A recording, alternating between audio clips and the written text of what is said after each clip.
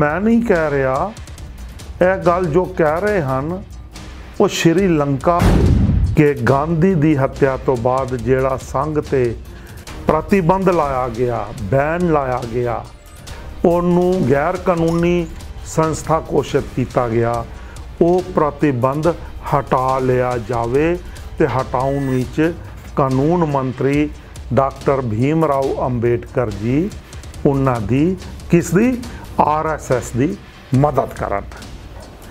ਔਰ ਅਜਿਹਾ ਡਾਕਟਰ ਭੀਮ ਰਾਓ ਅੰਬੇਡਕਰ ਜੀ ਵੱਲੋਂ ਕੀਤਾ ਜਾਂਦਾ ਸ਼ਡਿਊਲ ਕਾਸਟ ਫੈਡਰੇਸ਼ਨ ਐਸਸੀਐਫ ਤੇ ਆਰਐਸਐਸ ਦੇ ਸੰਗਠਨ ਭਾਰਤੀ ਜਨਸੰਘ, ਜਿਹੜੀ ਬਾਅਦ ਵਿੱਚ ਭਾਰਤੀ ਜਨਤਾ ਪਾਰਟੀ ਵੀ ਬਣੀ ਤੇ ਹੁਣ ਦੀ ਜਿਹੜੀ ਭਾਜਪਾ ਹੈ। ਨਾਲ ਚੋਣ ਗਠਬੰਧਨ ਕਰ ਲੈਂਦੇ ਨੇ ਤੇ ਮੱਧ ਪ੍ਰਦੇਸ਼ ਤੋਂ ਚੋਣ ਲੜਦੇ ਨੇ। ਆਰਐਸਐਸ ਨਾਲ ਤੇ ਜਨਸੰਘ ਨਾਲ। ਹੈ ਨਾ? ਜੀ, ਅਕਾਲੀਆਂ ਵਾਕਾਂ ਨਹੀਂ, ਬੜੀ ਸਪਸ਼ਟ ਹੈ। ਜੋ ਅਕਾਲੀਆਂ ਨੇ ਕੀਤਾ ਸਿੱਖਾਂ ਨਾਲ, ਉਹੀ ਡਾਕਟਰ ਭੀਮ ਰਾਓ ਅੰਬੇਡਕਰ ਨੇ ਕੀਤਾ ਆਪਣੀਆਂ ਕੌ- ਕੌਮੀਅਤਾਂ ਨਾਲ। ਤੇ ਸ਼ਡਿਊਲ ਕਾਸਟ ਫੈਡਰੇਸ਼ਨ ਜਿਹੜੀ ਕਿ ਅੰਬੇਡਕਰ ਜੀ ਨੇ ਬਣਾਈ ਸੀ, ਉਹ ਸੰਘ ਦੇ ਆਰਐਸਐਸ ਦੇ ਪ੍ਰਚਾਰਕ ਦਤੋ ਪੰਧ ਠੇਂਗੜੀ ਜੀ ਨੂੰ ਆਪਣੀ ਸ਼ਡਿਊਲ ਕਾਸਟ ਫੈਡਰੇਸ਼ਨ ਦਾ ਸੈਕਟਰੀ ਨਿਯੁਕਤ ਕਰ ਦਿੰਦੇ ਨੇ। ਭੇਡੂ ਬਣ ਕੇ ਤੁਰਦੇ ਨੇ, ਇਹ ਹੋਰ ਕਿਸੇ ਦੀ ਨਾ ਸੁਣਨਾ ਚਾਹੁੰਦੇ ਨੇ, ਨਾ ਸਮਝਣਾ ਚਾਹੁੰਦੇ ਨੇ, ਨਾ ਵਿੱਚੋਂ ਤੱਤ ਕੱਢਣਾ ਚਾਹੁੰਦੇ ਨੇ ਔਰ ਇਸੇ ਚੀਜ਼ ਦਾ ਫਾਇਦਾ ਫਾਇਦਾ ਸੁਖਦੇਵ ਬੱਦਨ ਜੀ ਵਰਗੇ ਇਹ ਸਾਰੇ ਵਿਦਵਾਨ ਇਕੱਠੇ ਹੋ ਕੇ ਲੈਂਦੇ ਨੇ ਤੇ ਇਹਨਾਂ ਨੂੰ ਇਸੇ ਪੋਜੀਸ਼ਨ ਵਿੱਚ ਹੀ ਰੱਖਣਾ ਚਾਹੁੰਦੇ ਨੇ। ਵਿਸ਼ਲੇਸ਼ਣ, ਸੰਸਲੇਸ਼ਣ ਤੇ ਸਰਵੇਖਣ ਅਤੇ ਰਿਸਰਚ ਕਰਨ ਦੀ ਇੰਨਾ ਹੀ ਮਾਦਾ ਹੀ ਨਹੀਂ ਹੈ। ਜਾਂ ਮੈਂ ਟੈਲੀਗ੍ਰਾਮ ਦੇ ਕੇ ਸੁਖਦੇਵ ਬੱਦਨ ਨੂੰ ਕਹਾਂਗਾ, ਇੱਕੋ ਹਮਾਮ ਹੀ ਸਾਰੇ ਨੰਗੇ ਰਹੀਏ ਤੇ ਫਿਰ ਸੁਖਦੇਵ ਬੱਦਨ ਜੀ ਮਨ, ਰਿਸ਼ਤੇ ਤਾਂ ਹੋਣਗੇ ਨਾ। ਉਹ ਗੁਪਤ ਰਿਸ਼ਤੇ ਹੋਣਗੇ।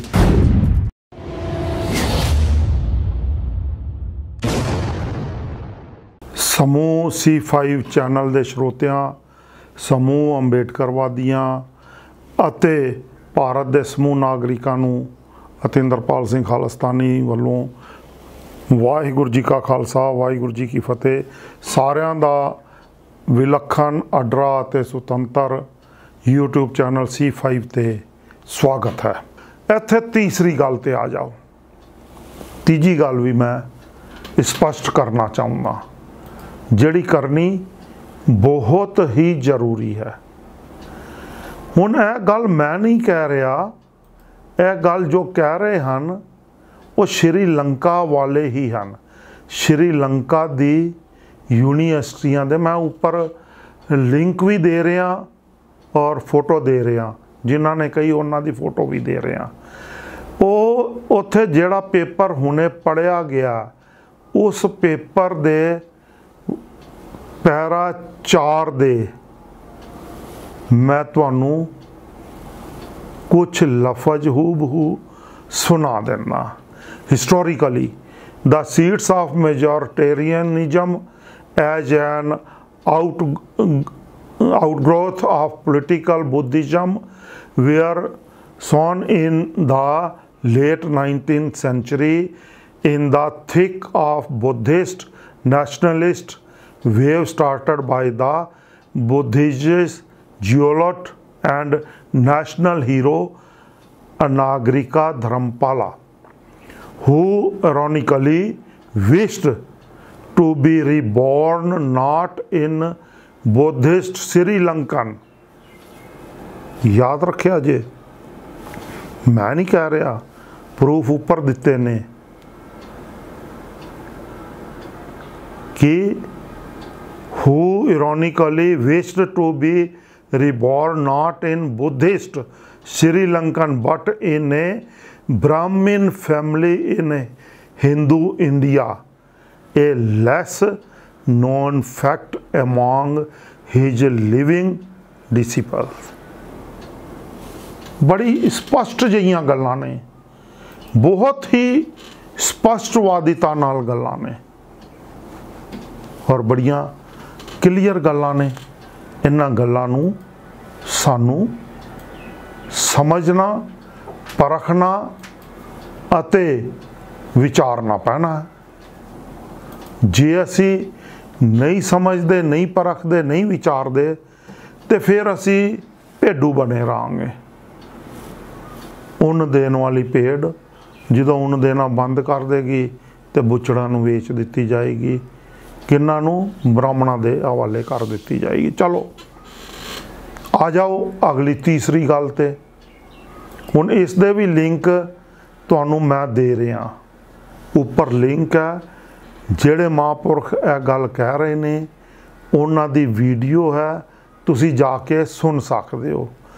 Ambedkar's link with RSS. Ambedkar's link with RSS. ਹੁਣ ਇਸੇ ਗੱਲ ਤੇ ਸੁਖਦੇਵ ਬੱਦਨ ਜੀ ਕੁਝ ਕਾਰਨਾ ਕਰਕੇ ਕਹਿ ਕੇ ਨਾ ਖਿਸਕ ਜਾਂਦੇ ਨੇ। ਉਹ ਕਾਰਨ ਮੈਂ ਤੁਹਾਨੂੰ ਸਪਸ਼ਟ ਕਰ ਰਿਹਾ। 1935 ਵਿੱਚ ਅੰਬੇਡਕਰ ਨੂੰ ਪੂਨੇ ਆਰਐਸਐਸ ਦੀ ਇੱਕ ਸ਼ਾਖਾ ਵਿੱਚ ਬੁਲਾਇਆ ਗਿਆ। ਉਹਨਾਂ ਨੇ ਵਿਜ਼ਿਟ ਕੀਤੀ। 1939 ਵਿੱਚ ਆਪਣੀ ਸਵੈ ਇੱਛਾ ਨਾਲ ਕੀਤੀ। 1939 ਚ ਅੰਬੇਡਕਰ ਜੀ ਆਰਐਸਐਸ ਦੇ ਪਹਿਲੇ ਸਾਰੇ ਸੰਘ ਚਾਲਕ ਕੇਸ਼ਵ ਬਲੀਰਾਮ ਹੈਡਗੇਵਾਰ ਦੇ ਅਹ, ਉਸ ਇਨਵੀਟੇਸ਼ਨ ਤੇ। ਪੂਨੇ ਵਿੱਚ ਇੱਕ ਉਹਨਾਂ ਦੇ ਟ੍ਰੇਨਿੰਗ ਕੈਂਪ ਦਾ ਨਿਰੀਖਣ ਕਰਦੇ ਹਨ। ਉਸ ਵਿੱਚ ਬੜੇ ਪ੍ਰਭਾਵਿਤ ਹੁੰਦੇ ਹਨ। 1949 ਵਿੱਚ ਸਤੰਬਰ ਦੇ ਮਹੀਨੇ ਆਰਐਸਐਸ ਦੇ ਹੀ ਦੂਸਰੇ ਸਰ ਸੰਘ ਚਾਲਕ ਐਮਐਸ ਗੋਲਵਲਕਰ। ਹੁਣ ਐਮਐਸ ਗੋਲਵਲਕਰ 1949 ਹੁਣ ਤੱਕ, ਇਸ ਸਮੇਂ ਤੱਕ ਕੀ ਹੋਇਆ ਸੀ? ਗਾਂਧੀ ਦਾ ਵੱਧ ਹੋ ਚੁੱਕਾ ਸੀ। ਔਰ ਗਾਂਧੀ ਦਾ ਵੱਧ ਕਿੰਨਾ ਨੇ ਕੀਤਾ ਸੀ? ਹਿੰਦੁਤਵਵਾਦੀ ਰਾਸ਼ਟਰਵਾਦੀਆਂ ਨੇ।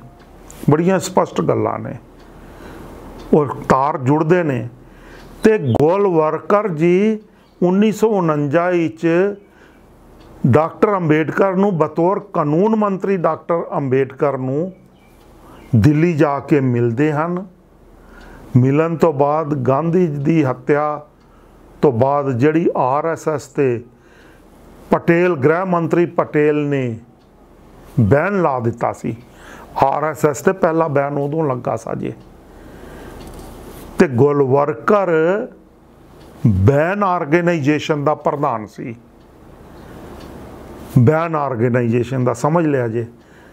ਤੇ ਜਿਹੜੀ ਬੈਨ ਆਰਗੇਨਾਈਜੇਸ਼ਨ ਹੋਏ, ਉਸ ਦੇ ਪ੍ਰਧਾਨ ਨੂੰ ਭਗੋੜਾ ਕਿਹਾ ਜਾਂਦਾ, ਮੁਜਰਮ ਮੰਨਿਆ ਜਾਂਦਾ, ਪੁਲਿਸ ਦੀਆਂ ਨਜ਼ਰਾਂ 'ਚ ਉਹ ਆ ਕੇ ਡਾਕਟਰ ਭੀਮ ਰਾਓ ਅੰਬੇਡਕਰ ਜੀ ਦੇ ਅਸ਼ੀਰਵਾਦ ਨਾਲ ਉਹਨਾਂ ਦੇ ਸ਼ੈਲਟਰ ਹੇਠਾਂ ਉਹਨਾਂ ਦੀ ਗਰੰਟੀ ਤੇ ਕਿ ਮਤਲਬ ਪਟੇਲ ਗ੍ਰਹਿ ਮੰਤਰੀ, ਗ੍ਰਹਿ ਵਿਭਾਗ ਉਹਨਾਂ ਨੂੰ ਕੋਈ ਗ੍ਰਿਫਤਾਰ ਨਹੀਂ ਕਰੇਗਾ। ਦਿੱਲੀ ਵਿੱਚ ਉਹਨਾਂ ਦੇ ਸਰਕਾਰੀ ਨਿਵਾਸ ਵਿੱਚ ਆ ਕੇ ਮਿਲਦਾ ਹੈ। ਤੇ ਉਹਨਾਂ ਨੂੰ ਅਪੀਲ ਕੀ ਕਰਦਾ ਅਪੀਲ ਇਹ ਕਰਦਾ ਕਿ ਗਾਂਧੀ ਦੀ ਹੱਤਿਆ ਤੋਂ ਬਾਅਦ ਜਿਹੜਾ ਸੰਘ ਤੇ ਪ੍ਰਤੀਬੰਧ ਲਾਇਆ ਗਿਆ, ਬੈਨ ਲਾਇਆ ਗਿਆ, ਉਹਨੂੰ ਗੈਰ ਕਾਨੂੰਨੀ ਸੰਸਥਾ ਘੋਸ਼ਿਤ ਕੀਤਾ ਗਿਆ। ਉਹ ਪ੍ਰਤੀਬੰਧ ਹਟਾ ਲਿਆ ਜਾਵੇ ਤੇ ਹਟਾਉਣ ਵਿੱਚ ਕਾਨੂੰਨ ਮੰਤਰੀ ਡਾਕਟਰ ਭੀਮ ਰਾਓ ਅੰਬੇਡਕਰ ਜੀ ਉਹਨਾਂ ਦੀ ਕਿਸ ਦੀ ਆਰਐਸਐਸ ਦੀ ਮਦਦ ਕਰਨ ਔਰ ਅਜਿਹਾ ਡਾਕਟਰ ਭੀਮ ਰਾਓ ਅੰਬੇਡਕਰ ਜੀ ਵੱਲੋਂ ਕੀਤਾ ਜਾਂਦਾ ਹੈ। ਬਕਾਇਦਾ ਕੀਤਾ ਜਾਂਦਾ ਹੈ। ਤੇ ਕਰਨ ਤੋਂ ਬਾਅਦ ਡਾਕਟਰ ਅੰਬੇਡਕਰ ਜੀ ਦੇ ਜ਼ੋਰ ਪਾਉਣ ਤੋਂ ਬਾਅਦ ਆਰਐਸਐਸ ਤੋਂ ਪ੍ਰਤੀਬੰਧ ਹਟਾ ਲਿਆ ਜਾਂਦਾ, ਬੈਨ ਚੁੱਕ ਲਿਆ ਜਾਂਦਾ ਹੈ। ਹੁਣ ਆ ਜਾਓ 1952 ਤੇ 35 39 49 ਤੋਂ ਬਾਅਦ 1952 ਤੇ ਡਾਕਟਰ ਅੰਬੇਡਕਰ ਜੀ ਸ਼ਡਿਊਲ ਕਾਸਟ ਫੈਡਰੇਸ਼ਨ ਐਸਸੀਐਫ ਤੇ ਆਰਐਸਐਸ ਦੇ ਸੰਗਠਨ ਭਾਰਤੀ ਜਨਸੰਘ ਜਿਹੜੀ ਬਾਅਦ ਵਿੱਚ ਭਾਰਤੀ ਜਨਤਾ ਪਾਰਟੀ ਵੀ ਬਣੀ ਤੇ ਹੁਣ ਦੀ ਜਿਹੜੀ ਭਾਜਪਾ ਹੈ। ਨਾਲ ਚੋਣ ਗਠਬੰਧਨ ਕਰ ਲੈਂਦੇ ਨੇ ਤੇ ਮੱਧ ਪ੍ਰਦੇਸ਼ ਤੋਂ ਚੋਣ ਲੜਦੇ ਨੇ। ਆਰਐਸਐਸ ਨਾਲ ਤੇ ਜਨਸੰਘ ਨਾਲ। ਉਹਨਾਂ ਦੀ ਸ਼ਡਿਊਲ ਕਾਸਟ ਫੈਡਰੇਸ਼ਨ ਗੱਲ ਸਮਝ ਇਹੀ ਤੱਥ ਨੇ ਜਿਹੜੇ ਕਹਿੰਦੇ ਨੇ ਕੁਝ ਕਾਰਨਾਂ ਕਰਕੇ ਬੱਦਨ ਜੀ ਕਹਿ ਕੇ ਟੱਪ ਜਾਂਦੇ ਨੇ।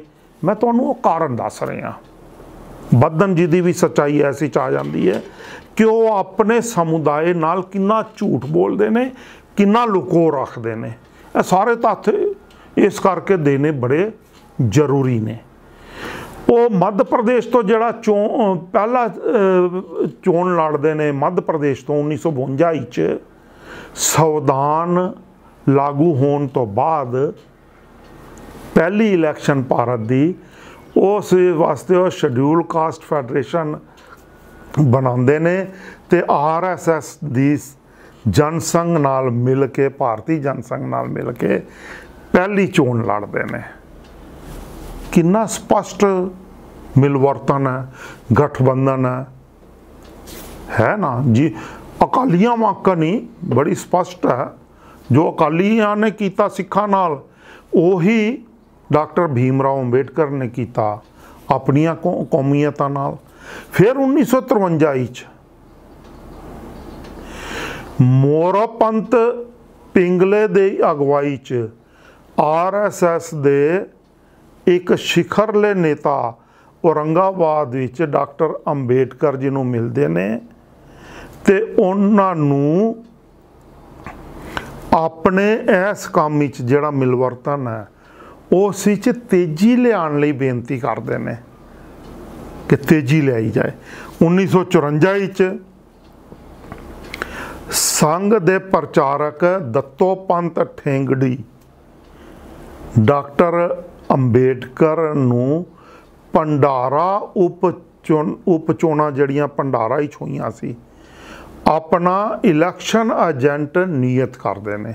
ਉਹਨਾਂ ਦੱਤੋ ਪਾਏ ਠੇਂਗਣੀ, ਸੰਘ ਦੇ ਪ੍ਰਚਾਰਕ ਨੇ। ਔਰ ਬਹੁਤ ਵੱਡੇ ਪ੍ਰਮਾਣਿਕ ਪ੍ਰਚਾਰਕ ਨੇ। 1954 ਵਿੱਚ ਡਾਕਟਰ ਭੀਮ ਰਾਓ ਅੰਬੇਡਕਰ ਜਦੋਂ ਭੰਡਾਰਾ ਤੋਂ ਸਬ ਇਲੈਕਸ਼ਨ ਜਦੋਂ ਹੋਈਆਂ ਉਪ ਚੋਣਾਂ ਹੋਈਆਂ ਉਸੇ ਚੋਣ ਲੜਦੇ ਨੇ। ਤੇ ਉਹਨਾਂ ਨੂੰ ਕਿੰਨਾਂ ਨੂੰ? ਸੰਘ ਦੇ ਪ੍ਰਚਾਰਕ ਨੂੰ। ਆਪਣਾ ਬਕਾਇਦਾ ਅਧਿਕਾਰਤ ਇਲੈਕਸ਼ਨ ਏਜੰਟ ਬਣਾਉਂਦੇ ਨੇ, ਚੋਣ ਇਲੈਕਸ਼ਨ ਏਜੰਟ ਬਣਾਉਂਦੇ ਨੇ। ਐਨ ਇੱਥੇ ਹੀ ਨਹੀਂ ਬਸ ਹੋਈ। ਕੰਮ ਵਿੱਚ ਤੇਜ਼ੀ ਲਿਆਉਣ ਦੀ ਬੇਨਤੀ ਹੋਈ ਸੀ ਨਾ 1953 ਵਿੱਚ। ਤੇ ਸ਼ਡਿਊਲ ਕਾਸਟ ਫੈਡਰੇਸ਼ਨ ਜਿਹੜੀ ਕਿ ਅੰਬੇਡਕਰ ਜੀ ਨੇ ਬਣਾਈ ਸੀ ਉਹ ਸੰਘ ਦੇ ਆਰਐਸਐਸ ਦੇ ਪ੍ਰਚਾਰਕ ਦਤੋ ਪੰਧ ਠੇਂਗੜੀ ਜੀ ਨੂੰ ਆਪਣੀ ਸ਼ਡਿਊਲ ਕਾਸਟ ਫੈਡਰੇਸ਼ਨ ਦਾ ਸੈਕਟਰੀ ਨਿਯੁਕਤ ਕਰ ਦਿੰਦੇ ਨੇ। ਸੈਕਟਰੀ ਵੀ ਬਣਾ ਦਿੰਦੇ ਨੇ। ਹੁਣ ਤੁਸੀਂ ਕਹੋਗੇ, ਇਹ ਮੈਂ ਤੁਹਾਨੂੰ 6 ਪ੍ਰਮਾਣ ਦਿੱਤੇ ਨੇ। ਹੁਣ ਮੈਂ ਜਦੋਂ ਬੋਲਦਾ ਤਾਂ ਤੁਸੀਂ ਮੇਰੇ ਖਿਲਾਫ ਹੋ ਜਾਂਦੇ ਹੋ। ਮੇਰੇ ਚੋਂ ਜਾਤੀਵਾਦ ਲੱਭਣਾ ਸ਼ੁਰੂ ਕਰ ਦਿੰਦੇ ਹੋ। ਇਹ ਤਾਂ ਸਾਰੀਆਂ ਚੀਜ਼ਾਂ ਪਹਿਲਾਂ ਤੋਂ ਪਈਆਂ ਨੇ। ਪਰ ਕਿਉਂਕਿ ਜਿਹੜੇ ਇਹਨਾਂ ਦੇ ਉਪਾਸ਼ਕ ਨੇ, ਅੰਬੇਡਕਰਵਾਦੀ ਨੇ, ਇਹ ਭੇਡੂ ਬਣ ਕੇ ਤੁਰਦੇ ਨੇ, ਇਹ ਹੋਰ ਕਿਸੇ ਦੀ ਨਾ ਸੁਣਨਾ ਚਾਹੁੰਦੇ ਨੇ, ਨਾ ਸਮਝਣਾ ਚਾਹੁੰਦੇ ਨੇ, ਨਾ ਵਿੱਚੋਂ ਤੱਥ ਕੱਢਣਾ ਚਾਹੁੰਦੇ ਨੇ। ਔਰ ਇਸੇ ਚੀਜ਼ ਦਾ ਫਾਇਦਾ ਫਾਇਦਾ ਸੁਖਦੇਵ ਬੱਦਨ ਜੀ ਵਰਗੇ ਇਹ ਸਾਰੇ ਵਿਦਵਾਨ ਇਕੱਠੇ ਹੋ ਕੇ ਲੈਂਦੇ ਨੇ ਤੇ ਇਹਨਾਂ ਨੂੰ ਇਸੇ ਪੋਜੀਸ਼ਨ ਵਿੱਚ ਹੀ ਰੱਖਣਾ ਚਾਹੁੰਦੇ ਨੇ। ਵਿਸ਼ਲੇਸ਼ਣ, ਸੰਸਲੇਸ਼ਣ ਤੇ ਸਰਵੇਖਣ ਅਤੇ ਰਿਸਰਚ ਕਰਨ ਦੀ ਇੰਨਾ ਹੀ ਚਮਾਦਾ ਹੀ ਨਹੀਂ ਹੈ। ਪਰ ਇਹਨਾਂ ਵੀਡੀਓਜ਼ ਦਾ ਜਵਾਬ ਅੱਜ ਤੱਕ ਸੁਖਦੇਵ ਬੱਦਨ ਤੇ ਉਸ ਦੀ ਸਮੁੱਚੀ ਟੀਮ ਤੇ ਅੰਬੇਡਕਰਵਾਦੀਆਂ ਨੇ ਨਹੀਂ ਦਿੱਤਾ। ਮੈਂ ਸਕਰੀਨ ਤੇ ਜਿਹੜੀ ਤੁਹਾਨੂੰ ਦੱਸ ਰਿਹਾ ਜਿੱਥੋਂ ਸਾਰੇ ਤੱਥ ਲਏ ਗਏ ਨੇ। ਹੁਣ ਇਸ ਤੋਂ ਬਾਅਦ ਇੱਕ ਸਤਵਾਂ ਪ੍ਰਮਾਣ ਤੁਹਾਨੂੰ ਦੇਣਾ ਚਾਹੁੰਦਾ। ਹੁਣ ਜਿਹੜਾ ਸਤਵਾਂ ਪ੍ਰਮਾਣ ਮੈਂ ਤੁਹਾਨੂੰ ਦੇਣਾ ਚਾਹੁੰਦਾ, ਇਹ ਫੇਰ ਅੰਬੇਡਕਰ ਜੀ ਦੀ ਆਟੋਬਾਇਓਗ੍ਰਾਫੀ ਚੋਂ ਹੀ ਹੈ। ਕਿਹੜੀ ਆਟੋਬਾਇਓਗ੍ਰਾਫੀ? ਫਿਰ ਮੈਂ ਤੁਹਾਨੂੰ ਉੱਪਰ ਦਿਖਾ ਦਿੰਦਾ, doctor Baba Saheb Ambedkar life and mission, Dhananjay Keer ji. ਉਹਨਾਂ ਦੀ ਜਿਹੜੀ ਮੇਰੇ ਕੋਲ ਕਾਪੀ ਹੈ, ਇਹ ਪੁਰਾਣੀ ਹੈ।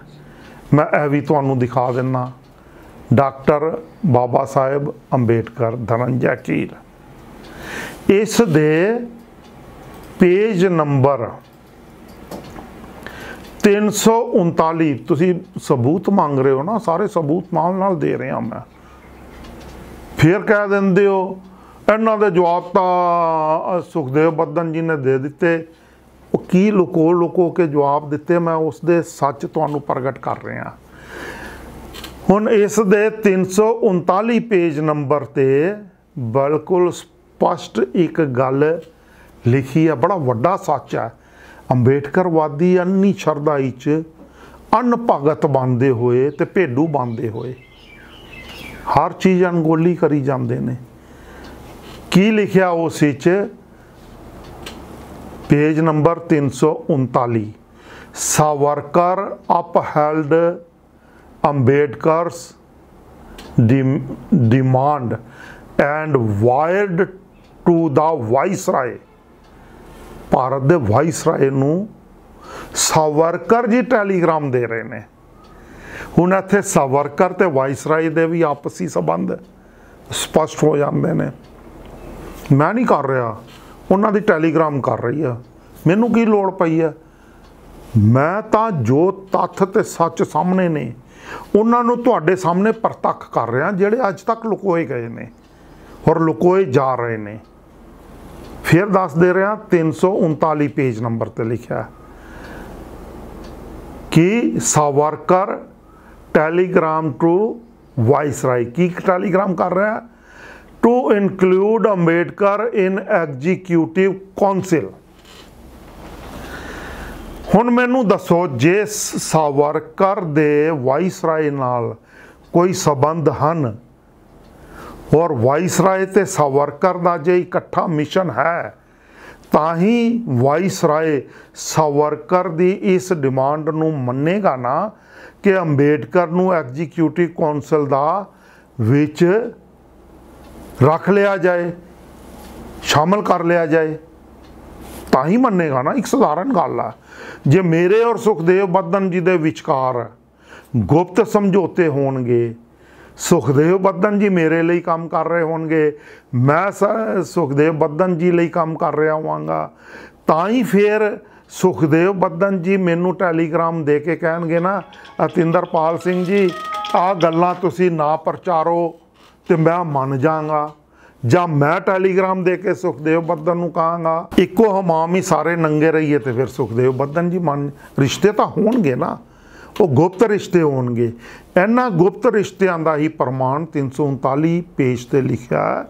ਔਰ ਅੰਬੇਡਕਰ ਜੀ ਦੀ ਆਟੋਬਾਇਓਗ੍ਰਾਫੀ ਜਿਹੜੀ ਲਿਖੀ ਗਈ ਤਨੰਜੈ ਕੀਰ ਜੀ ਵੱਲੋਂ। ਔਰ ਜਿਸ ਨੂੰ ਪੜ੍ਹ ਕੇ ਅੰਬੇਡਕਰ ਜੀ ਨੇ ਆਪ ਉਸ ਦੀ ਫਾਰਵਰਡਿੰਗ ਲਿਖੀ ਤੇ ਉਹਨੂੰ ਪ੍ਰਵਾਨਗੀ ਦਿੱਤੀ। ਆਟੋਬਾਇਓਗ੍ਰਾਫੀ ਬੜੀ ਕੀਮਤੀ ਜੇ। ਅੰਬੇਡਕਰ ਜੀ ਨੇ ਖੁਦ ਪੜ੍ਹੀ ਪੜਨ ਤੋਂ ਬਾਅਦ ਇਸ ਦੀ ਪ੍ਰਵਾਨਗੀ ਦਿੱਤੀ। ਇੱਕੋ ਇੱਕ ਆਟੋਬਾਇਓਗ੍ਰਾਫੀ ਆ। ਹੁਣ ਜੇ ਸਾਵਰਕਰ ਔਰ ਵਾਇਸਰਾਏ ਵਿਚਕਾਰ ਕੋਈ ਗੁਪਤ ਸਮਝੌਤੇ, ਗੁਪਤ ਸਾਜ਼ਿਸ਼ਾਂ ਦਾ ਕੋਈ ਘੜਾ ਪੱਕਿਆ ਹੋਇਆ, ਤਾਂ ਹੀ ਵਾਇਸਰਾਏ ਨੂੰ ਸਾਵਰਕਰ ਟੈਲੀਗ੍ਰਾਮ ਪਾ ਰਿਹਾ ਤੇ ਵਾਇਸਰਾਏ ਸਾਵਰਕਰ ਦੀ ਟੈਲੀਗ੍ਰਾਮ ਤੇ ਡਾਕਟਰ ਅੰਬੇਡਕਰ ਜੀ ਨੂੰ ਐਗਜ਼ੀਕਿਊਟਿਵ ਕਾਉਂਸਲ ਵਿੱਚ ਨਿਯੁਕਤੀ ਦੇ ਰਹੇ ਨੇ। ਇਹ ਸੱਚ ਨੇ। ਇਹਨਾਂ ਸੱਚਾਂ ਦੇ ਆਧਾਰ ਤੇ ਮੈਂ ਆਪਣੀ ਗੱਲ ਤੁਹਾਡੇ ਸਾਹਮਣੇ ਰੱਖ ਰਿਹਾ। ਹੁਣ ਇੱਕ ਗੱਲ ਹੋਰ ਕਹੀ ਗਈ, ਬੜੀ ਵੱਡੀ ਕਹੀ ਜਾਂਦੀ ਹੈ। ਉਹ ਵੱਡੀ ਗੱਲ ਕੀ ਕਹੀ ਜਾਂਦੀ ਹੈ? ਕਿ ਅੰਬੇਡਕਰ ਜੀ ਨੇ ਸੰਵਿਧਾਨ ਲਿਖਿਆ।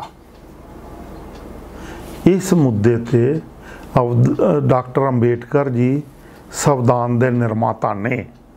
ਇਸ ਮੁੱਦੇ ਤੇ ਤੁਹਾਡੇ ਨਾਲ ਅਗਲੀ ਵੀਡੀਓ ਵਿੱਚ ਗੱਲ ਕਰਾਂਗਾ।